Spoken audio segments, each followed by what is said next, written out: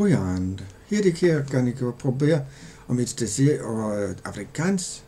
Jeg kan ikke følge til, om det anlægger fra her de talen i, men om det, det, det kan ligge, øh, når det øh, nederlandse finder jeg, at bare magtligt kom til at læse, læse der, der var, var så skevånligt en større problem als læse.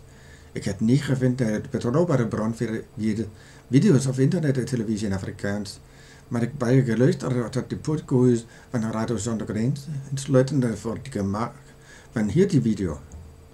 Op die forum How to Learn Any Language heb ik gestudeerd in een gesprek over de mate van begrip tussen Afrikaners Nederlandse of Vlaamse mensen. Iemand had gevraagd, kan een Nederlands uh, Afrikaanse kan naar Europa en citaal uh, draaien om te klinken zoals een plaatselijke persoon? Ah, deze nog. Niet zo eenvoudig niet, maar amper.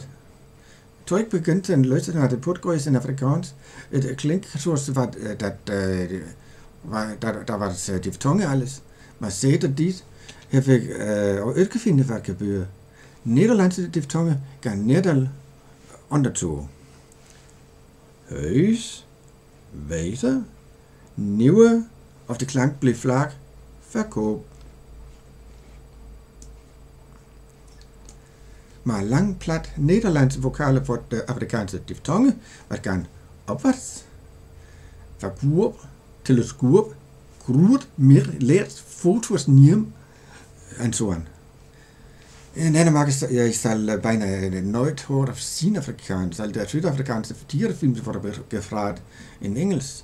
Eh, ich hätte hier die Teach Yourself und Oliver Tambo, Løkhafer von Jobert geguckt. Eh, Okkukupin kupil fann reistidsskrifter. Man höll hett inte fel för eh, kupin afrikans. Så jag köpte min modellbok äh, eh, beställt över internet. Faros tvetallige skolvortebog. Rotkup papir, glendryk, med det oven indhold er skudt. Egentlig ist der mere af øh, afrikansk brækken af stensbrækkers.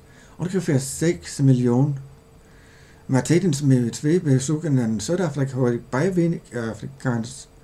Så jeg håber, der er en par vanvittige 6 millioner burter kan finde de folkekære, hvad det besøgte land.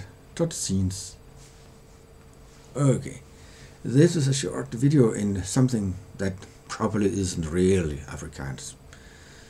As I explained in the Afrikaans section, the problem is that it is very easy to read Afrikaans because it resembles uh, Dutch so much, but uh, it is difficult to find sources, spoken sources in uh, Afrikaans, and that's uh, at least the case with internet television. Instead, I found a very good source for for radio podcasts, Radio Sonder Grense. And uh, I even listened to, uh, to a podcast about photo there just before I made this video. I hope some of the tone will carry through, but uh, it's just an experiment. Don't take it for more. Okay. Uh, at how to learn any language, the, the forum I where I'm writing a lot, uh, there was a discussion about uh, how easy is it for Afrikaans uh, speakers and Dutch or Flam Flemish speakers to understand each other. And somebody asked, can an Afrikaner go to Europe and just tweak his uh, pronunciation a little and leave out a couple of words and then he sounds almost like uh, the local people? Well, it's not easy, but it's there is something like uh, that. If you listen carefully, you'll find that uh, Dutch has got uh, diphthongs that go mostly downwards, or the sound stays put. But those sounds that stay put and are long will become diphthongs that go upwards in Afrikaans. So it will be, for instance, telescope, telescope, or uh, near fotos, photos, take photos, if you uh, use those uh, easy rules, you will find that uh, it is not, of course, Dutch, but it will be easier probably for those in the Netherlands or Belgium to understand what such an Afrikaner is saying. And we do exactly the same thing as when a Dane comes to Sweden. We also tweak our Danish. We speak more clearly, at least. And uh, then we hope that the, somebody will understand us a little better than otherwise. This tweaking is not the same as learning, but I had to use it because I've not had so much experience with spoken Afrikaans. I have had to cheat, cheat you can say, but uh, I hope it had some resemblance to Afrikaans. It was an experiment, as I said. It is also difficult to get uh, written sources here in Denmark. I brought my uh, Teach Yourself Afrikaans by a man called uh, Van Schalkwyk in the Oliver Tambo International Airport of uh, Joburg, Johannesburg, the main airport uh, with Cape Town's airport in uh, South Africa. And uh, they also had a couple of magazines about travels, and about uh, national parks, but that was about all.